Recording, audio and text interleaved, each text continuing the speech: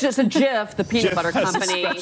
they came yeah. out and weighed in on this, right? They're Is weighing the in on it. It has the little graphic interchange That's format. cool. Or you can get a bottle of What's a Jif. Giphy then? What's it? A what? A Giphy. It's actually only 10 bucks. 10 bucks on for the gift? Amazon, which I was actually kind of surprised about. Oh. so get on it now because Yeah. you know by the end of today it's going to be $1,000 Yeah. on eBay.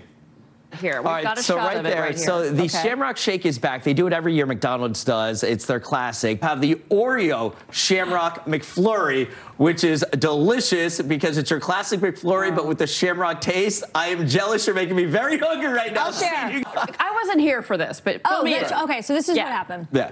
Um, McDonald's has these candles, and they're quarter pounder scented, and I was like, well, why wouldn't they be Big Mac scented? Right. We have them there. So, So each, smell it. smell them. So hold on. So each candle, like here's the ketchup, here's the if you can- Pickles, here's yeah. the pickles, here's sesame, the sesame seed bun. Better than my apartment when you put that all together. Don't just use the onion candle.